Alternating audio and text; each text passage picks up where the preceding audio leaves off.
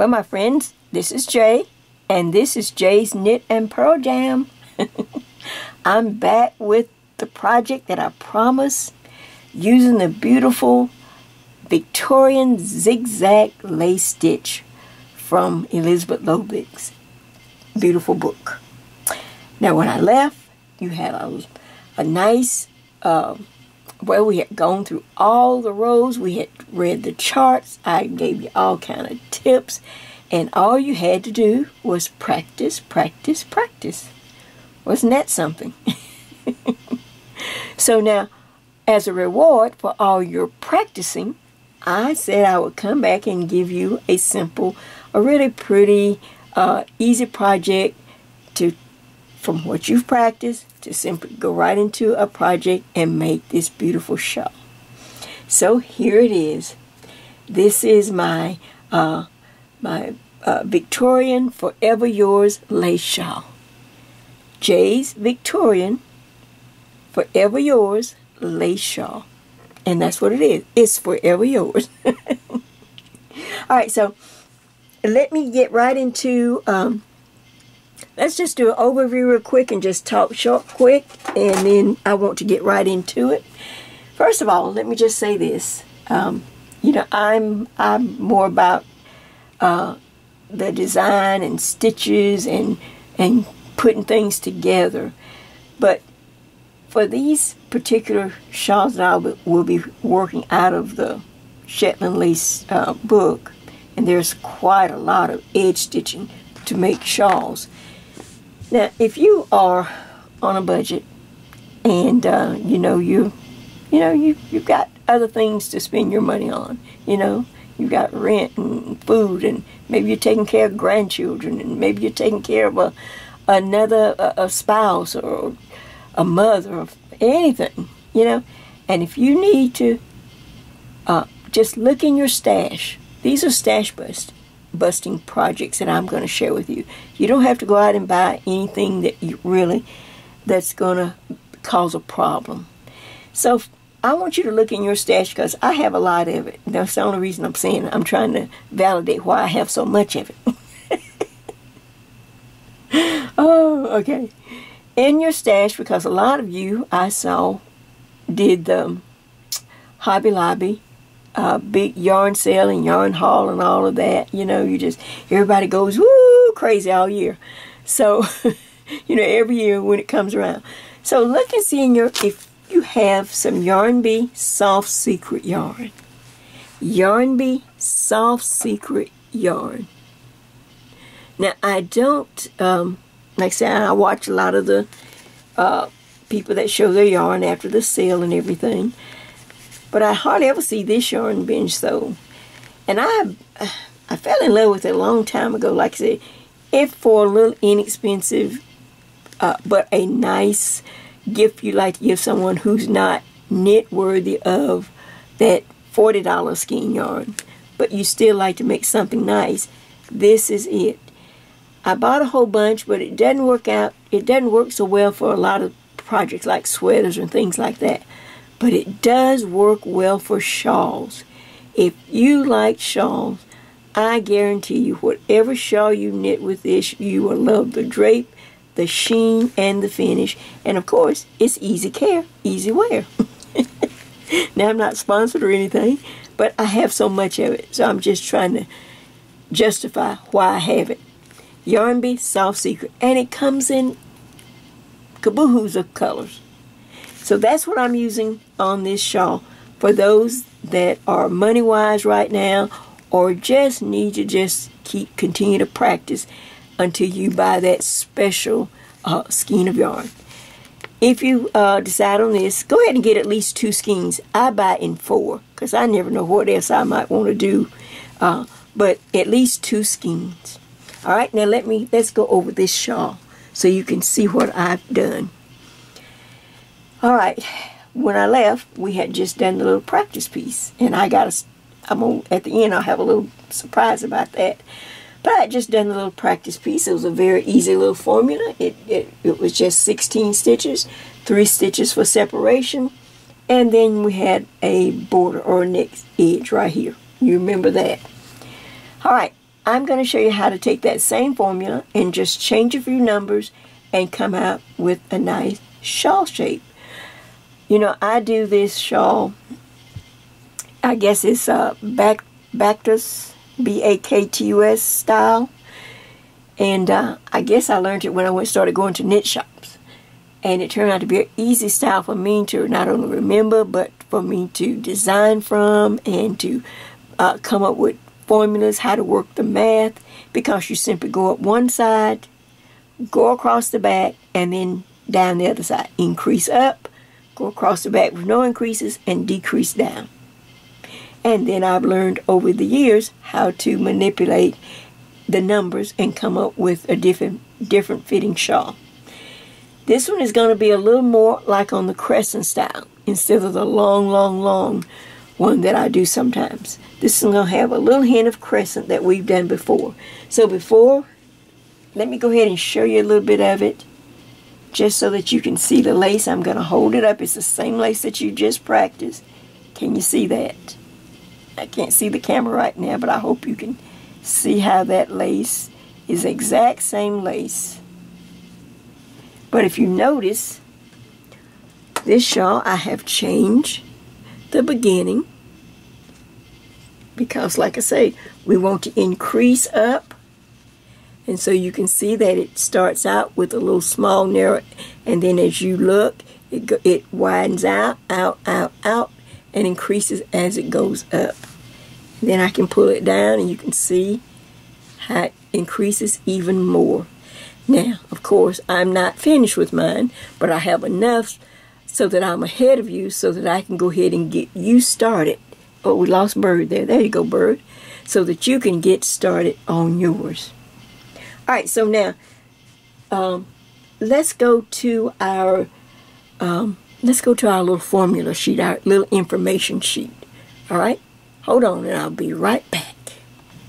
All right, now this color may look blue, or the shawl may look blue on the camera, but it's really a beautiful violet. So in case you wanted to know what of this uh, soft secret I'm using, the color is simply violet.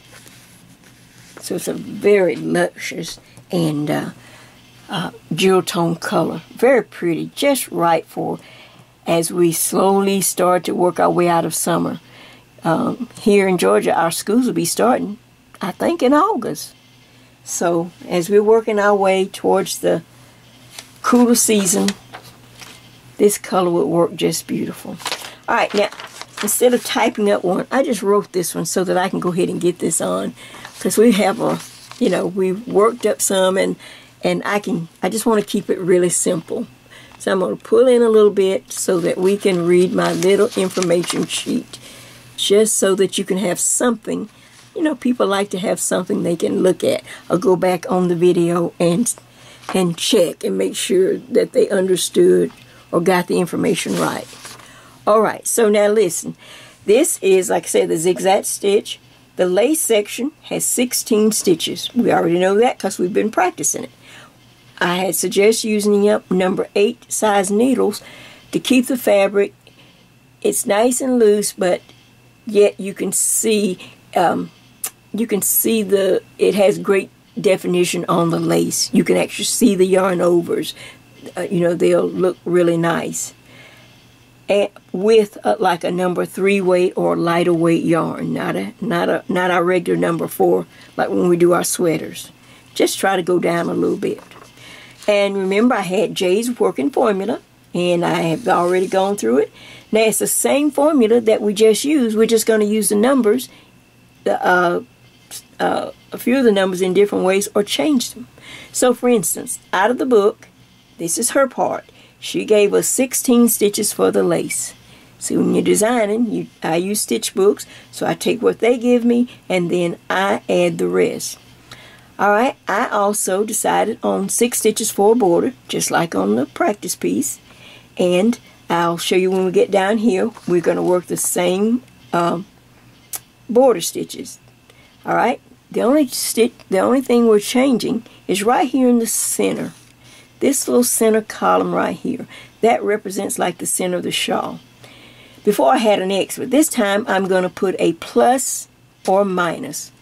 So this lets you know that this is the section that we will increase in as we go up.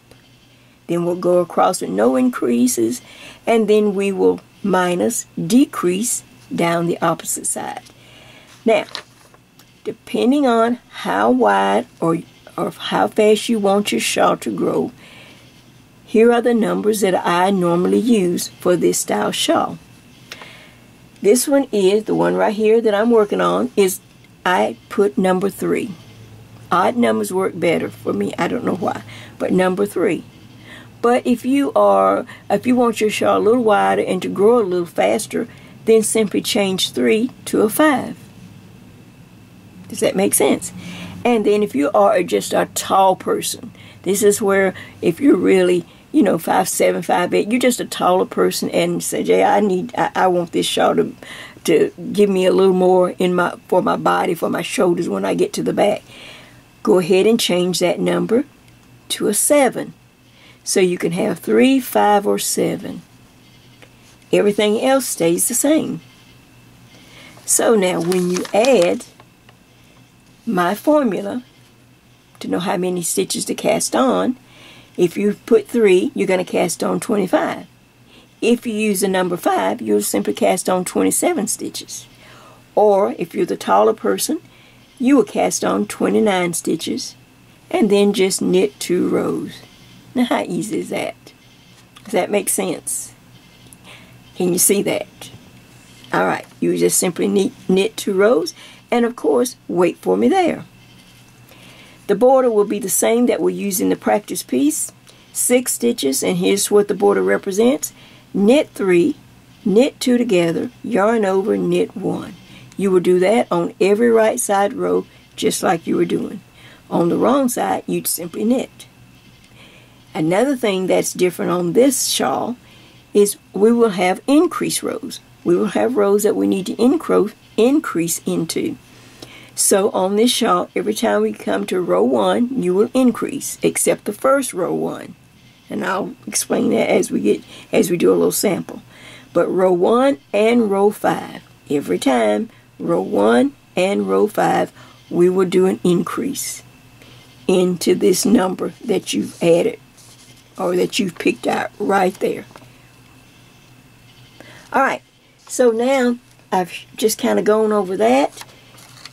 You can see again, you can just look at it even from the side. You can see how it increases up. So now I want to, let's see, what should we do next? Well, I want to get into a little bit of, um, I'm not going to repeat the stitch. First of all, how do you like this format? I'm trying to, you know, I'm trying to learn.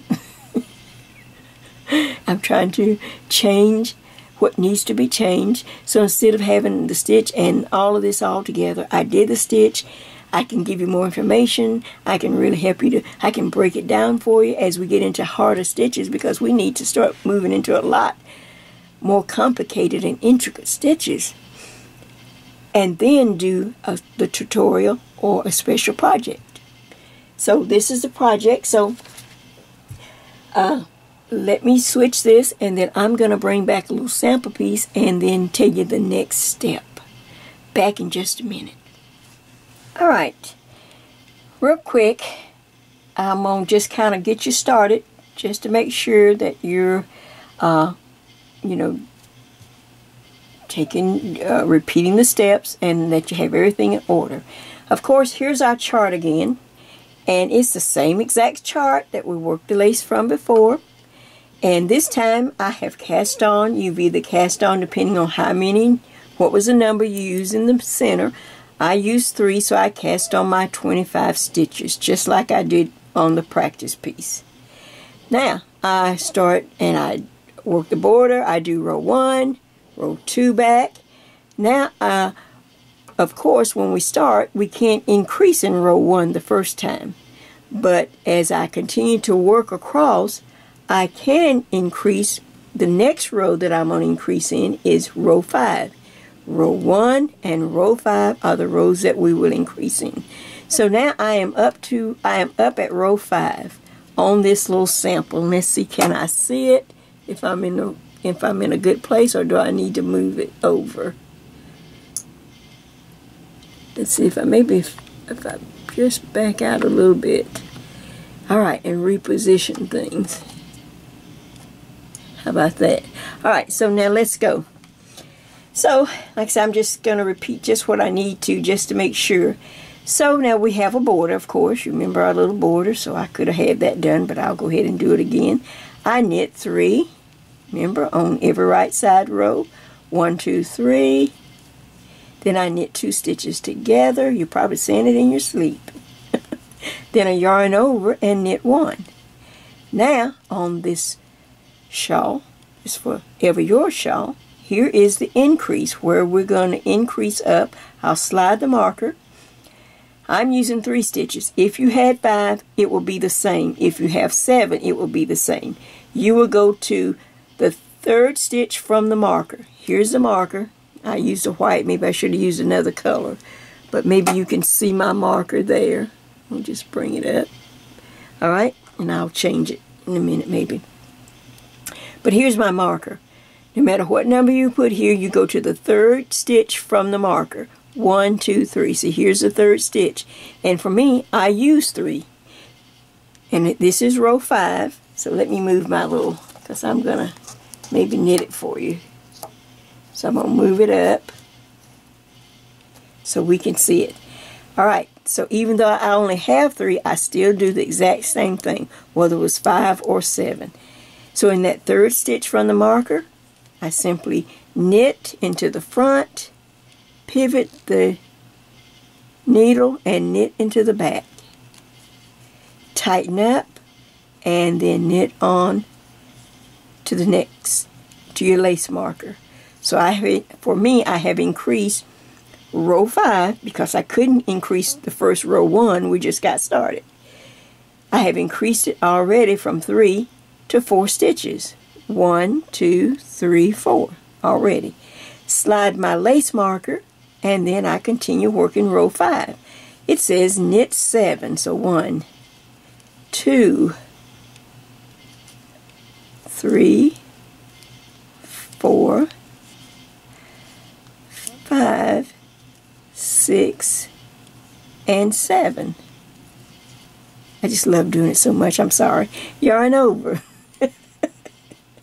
slip, slip, knit. I'm reading and working row five of the chart, the same one you've been practicing. All right, now, of course, knit three, one, two, and three, and then again, I'm going to yarn over I'm going to do the slip. Oh, let me show you. I, I, I may have cut this part out of the first video. All right, some of you, in case you might say, well, Jade, that's not how I do a slip, slip, knit. No, the usual way is to slip one and then slip the next stitch. Then take your needle and go back and go back through the front of both stitches. But see how sometimes that gets so cumbersome and then you're having to move your wrist around. So you could also do it just like I, when I want to kind of, you know, get my rhythm and I want to just move a little faster. I have that yarn over. Now watch, I simply take the right hand needle and go through the back loop of both stitches. And I'm in the same, in the same order. And I knit through the back loop. Slip, slip, knit. Now my needle is still pointing in the same direction and I cut out one whole step. What do you think about that? Alright, the rest of row 5 it says knit 3. After I do that slip slip knit, 1, 2, and 3. Now check, you should have 4 stitches left. One, two, three, four. You see them? Alright, I have a double yarn over, then a slip slip knit. These are just little things I thought about. I thought, well, some people might not say, well, Jay, that ain't, that's not a slip slip knit. Okay. See, man, this is so, I'm sorry, it is so humid. I am pouring water on my hands. All right, slip slip knit. I'll get it in there. And then the last stitch is knit two stitches together because it's leaning to the right. And you can see I'm struggling a little bit tonight. I thought it would be a little even worse if I use a bamboo. So these are little uh, painter's dream, uh, dream little needles that I used to buy a lot. All right, so there's row five. So now you will continue to follow the chart all the way up, back down to row one. The next time you come to row one, then you make your next increase. In the third stitch, wherever it is from the from the marker. So count back one, two, three. So I would make it in that stitch, the third stitch from the marker. And then of course you do the same thing on row five and continue row one, row five, row one, row five, and your shawl will start to grow. Everything else is the same. Does that help? All right, let me see what else I need to do, and uh, I'll be right back. All right, so now the next thing I need to share with you. All right, so now you've you started, you found some new yarn, you had your practice, now you're ready to move to the yarn that you want to make this forever your shawl. All right, now, how, well, Jay, how do I determine how far to go? Okay. Remember on the little simple crescent shawl, it's, well, everybody didn't do it, so, you know, may not have done it. So, uh, I'm on, this, this is as much as I can get into my camera frame. But on the little shawl, I shared with you before how to get this little simple crescent just a hint. We're not doing short rows. This is just an easier, simpler way to make a very simple shawl. Remember, I'm trying to keep things simple. All right. You take and you take this end of the shawl, put it in your hand, and stretch your arm a full length out from your body. And you would keep knitting this shawl, keep knitting, keep knitting until you to this section right here. You keep increasing, increasing, and knitting up until this crosses over your cleavage line. Here's my cleavage. Here's my arm stretched out. I've got it lined up to my body like this. Can you see it a little bit on camera? I have it lined up. I'm holding it. And then I'll just keep knitting, knitting, knitting, knitting, and keep going until I cross or come to my front cleavage, the center of my body. How about that? And for me, it took 21 of these little scallops. It, you know, I'm not, you know, I'm fluffy, but I'm short. so when I counted and I reached enough that I want to stop, that I said, okay, I'm at the center of my body. All right, it took 21, so I stopped and I put a marker there. I says, okay, I'm ready to stop now. And I'm on row one, getting ready to start. Going across the back which there will be no increases. I increase up until I cross the cleavage line or the center of my body and just count your stitches and see, you know, your little scallops. Now I could have gone one more and maybe done 30, make it even. If you like, in fact, I might do that. You know, I can do that. I just like when you're going up and you're and you're decreasing down, it's nice to have an even number. It's easy to remember. So I have, oh, not, not 30, this was 21 let's see, 20, 21. So I could do one more so it comes out even instead of 21, have 22. Does that make sense? I botched it a little bit.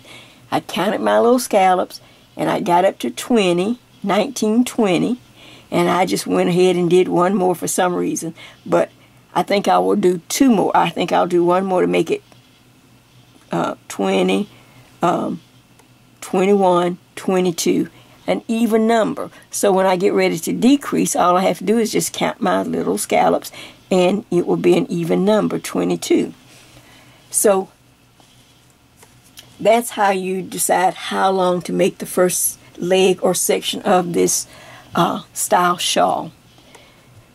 Hold it just like I said, work it up to your cleavage and then make this side even. So I'm going to do one more row off camera and make it 22.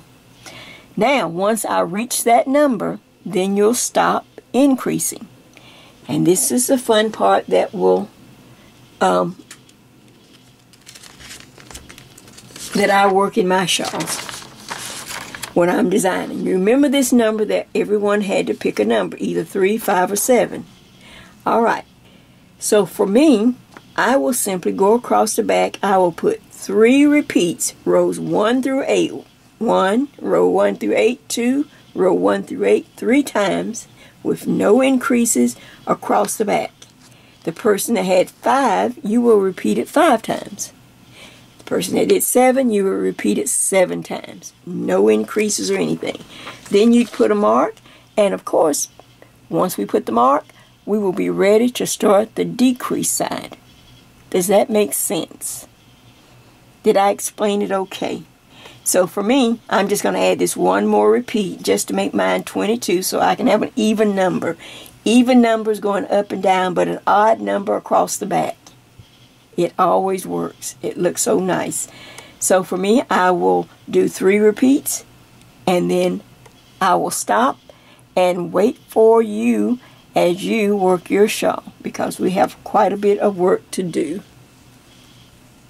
But the main thing is to get enough length by stretching it across uh, your the length of your arms and all the way up to the center of your body or your cleavage line. Does that make sense? Once you get used to it, it's a lot easier, you know. Like I said, we're not really ready to get into short rows. Some people are not ready to get into that right now. But this is a way to give a nice, simple shawl, just a hint of a body crescent, just a shape. And then we will uh, start the decrease side. So that's where we are. And that's the work we have to do, including me. I've worked at one side, so I'm ready to start my back. And I only have to do three repeats. Now, one last thing before I stop this video, I want to show you something. Something special. Back in just a minute.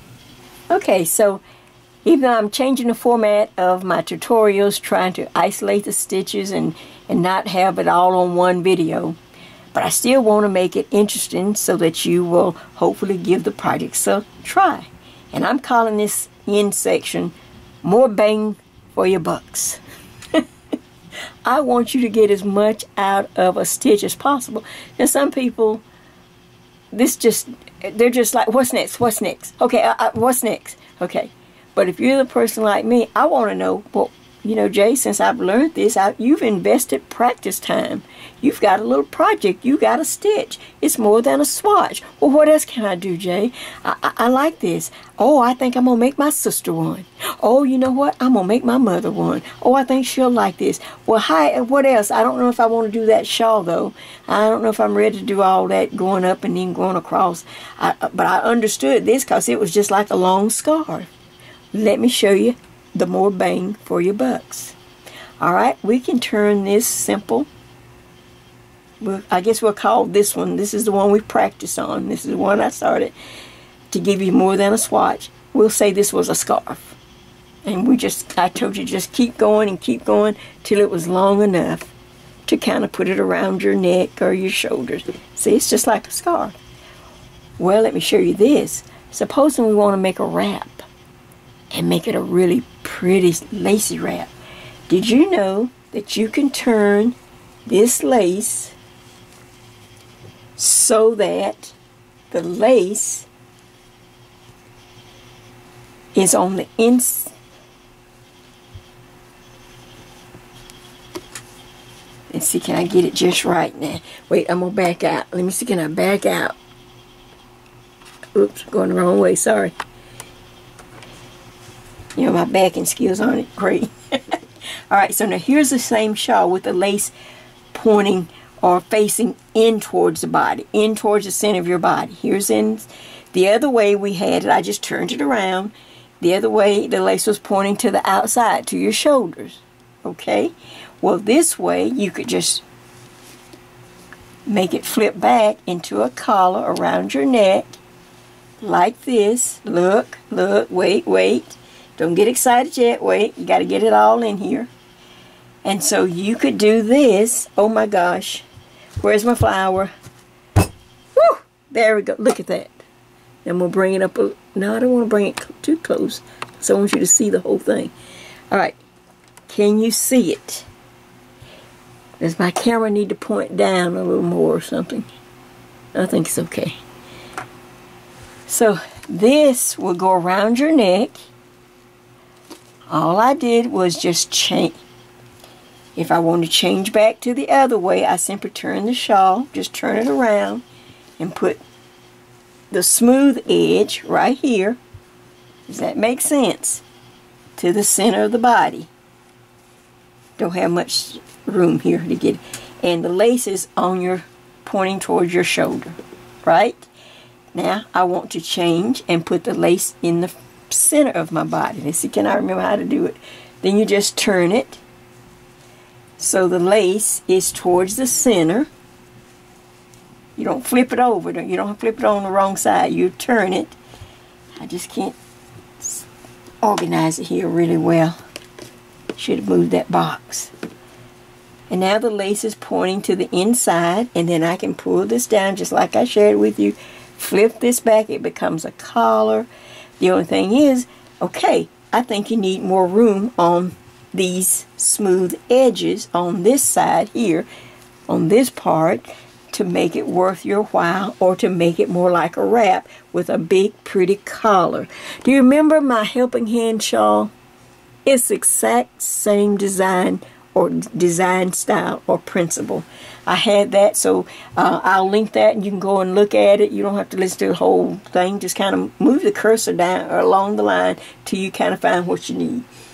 So let me give you a bonus working formula how you can simply change or add a few numbers and make this beautiful. We're going to call this the zigzag wrap. or the, or well, let's see, instead of um, Victorian lace shawl, Victorian um, lace forever yours wrap. Here's the wrap if you like a wrap and not a shawl. Where you have a lace where you can just simply turn the lace to the inside of the body and have a, a collar. Put your flower there. Oh my gosh. Oh, I can't wait. All right, here we go. This is the bonus because I like to share with you. Now I'm going to pull in just a little bit so I can Okay, here we go. This is all the change that I needed or that you will need to make to make this. The lace is the same. It's out of the stitch book. Elizabeth Lovick's Shetland Lace. We're still working in this same book. Have you forgotten? I guess you think, Jay, has have you just gone rogue? I kind of have. But it's still Elizabeth's the stitch where I got the the idea you know, the stitch, but now I'm adding my own idea here with this with this wrap. So I know it's 16. Okay, well, why ponder? Well, what else can I, what should I do? Just take the same, remember, always look or use what you already have. Work in the in the space that you already have created. You know this stitch now. If you work this practice, you know this stitch. You may not be doing it perfect yet, but that's to be allowed. We are practicing, people. We are growing our skills. So you can take 16 and put the 16 right here. Put another 16. Put another 16 right here. And when you add that up, that's a cast on of 48. And if you like taller, broad in the shoulder, put another 16. You don't have to stop at just these three. You can have four 16s. You can have five 16s. but the lace will still stay the same. All this you will just knit, knit, knit, knit, knit, knit, knit, knit. Now I can break it up and put in an eyelet row. An easy eyelet row to remember only takes three stitches. Knit two together. Let's see. Well, let me write it out. Maybe I should write it out. But it don't. But really, it just takes a good um, two stitches. Knit two together. Yarn over. Knit one. Let me write that on here so you'll remember. This is in case you want to do an eyelet row. Hold on, let me just write on right on my own thing. Okay. Um, knit two together, yarn over, knit one equals three stitches. All right. So let me make sure I'm on camera. So, uh, all right. So Everywhere that I have a line, that means you can put a marker there. That's how I design. You know, this is my working formula. This is line represents the number of, of uh, I starts at chains. Well, it does in crochet, but when I'm knitting, that's my cast on number. So if I have 16, 16, 16 and add that up, that gives me 48 stitches of cast on.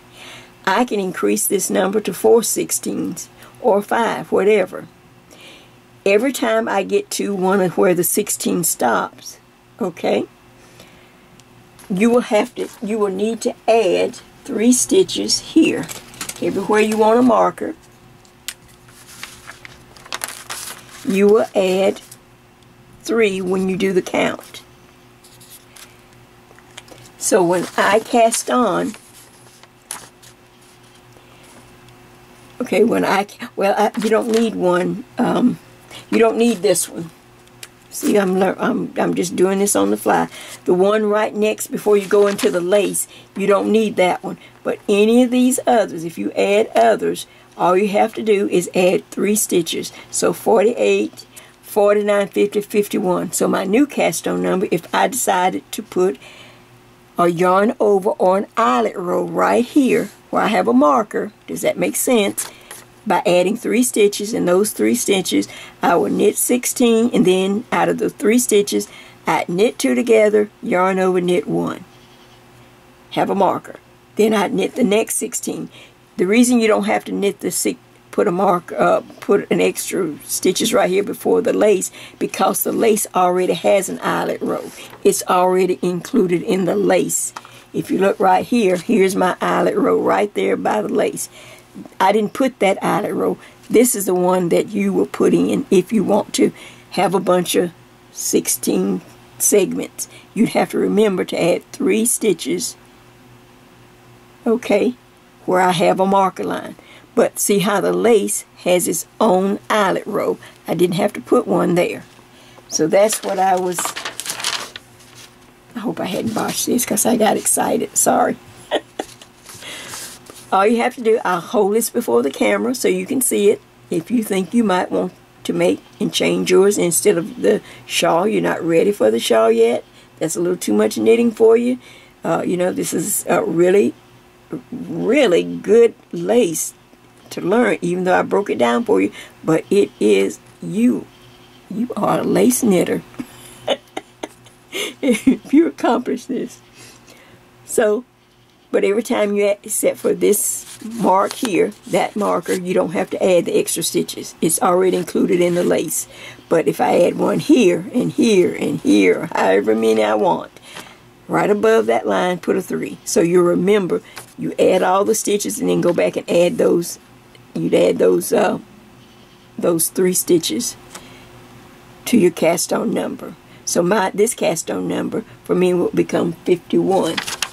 I might as well do that. So I just draw a line and put 51.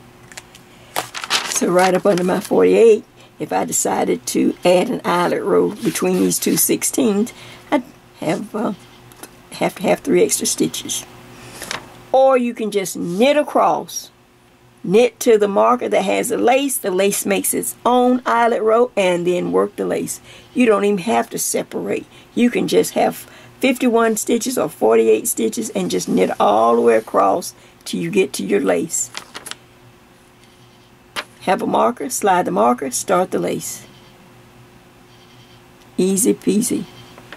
And then this side of this pretty wrap that I'm sharing with you, this side will grow will be out here over towards your shoulders and then that's when you can wear this pretty turn the turn it back for a collar so that you can have a beautiful lace collar with more rows on the shoulder side and your flower.